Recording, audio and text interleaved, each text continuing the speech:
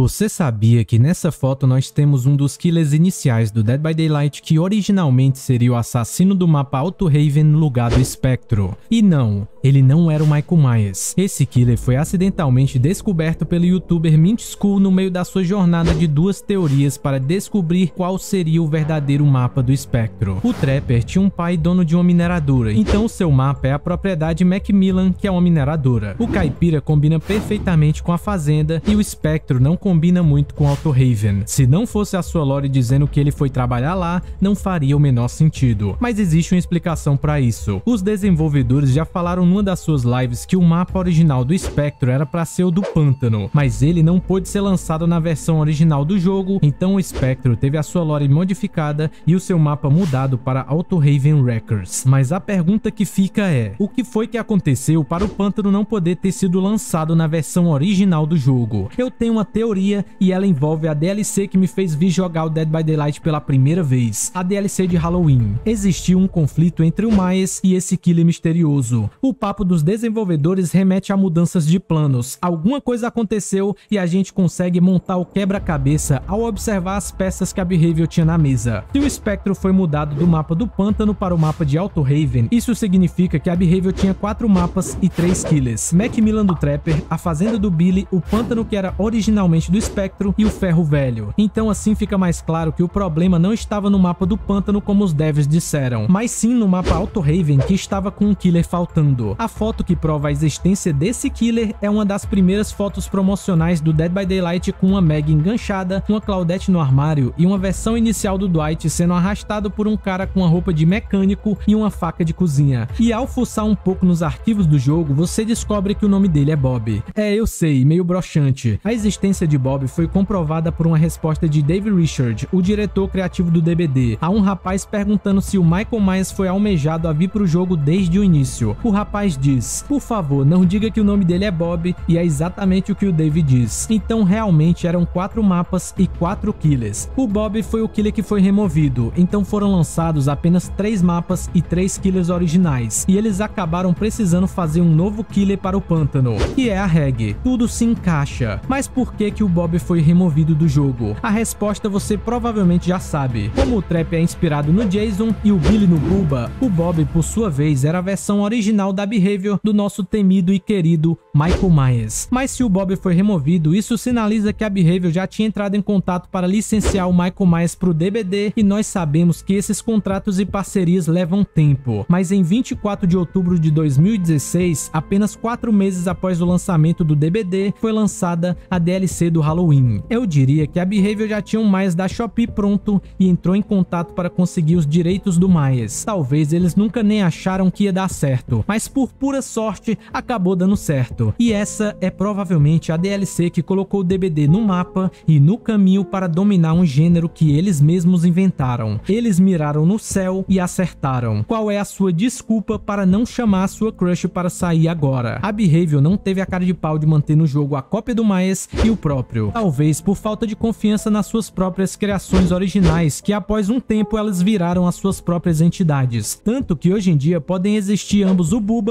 e o Billy no mesmo jogo sem problema algum. Hoje em dia eles têm essa confiança, mas no começo eu acho que foi a decisão correta licenciar o Myers para trazer legitimidade a um jogo que já tinha muitas cópias de figuras mainstream. O Bob morreu para que o Myers viesse transformar um jogo indie numa sensação entre jovens amantes de filmes slasher e outras pessoas não tão jovens assim. Então eu diria que foi uma ótima troca. O fato dos killers terem sido trocados de última hora dão mais legitimidade à teoria do mapa do Vecna e eu falo mais sobre isso no vídeo que tá na sua tela agora. Beba sua água, coma seus vegetais e nunca deixe de ser essa pessoa maravilhosa.